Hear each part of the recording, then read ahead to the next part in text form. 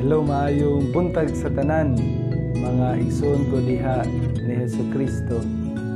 Matag adlaw mo paambit ko kaninyo o pagpamalandong sa ebanghelyo ni Hesus Kristo o hangyoon ko kamo sa pagpaminaw kanako.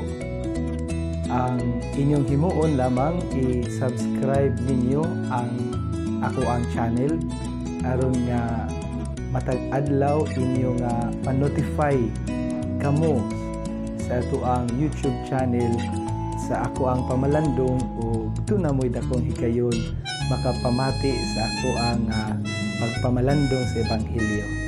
Ang ato lang niini nga mahimo nga tandugon kita sa ato ang Dios ang Espiritu Santo aron makapaningkamot kita nga magkinabuhi gyud ka nga matarong ug balaan. So see you sa kada adlaw na akong pagpamalandong. Ayaw kalimot no?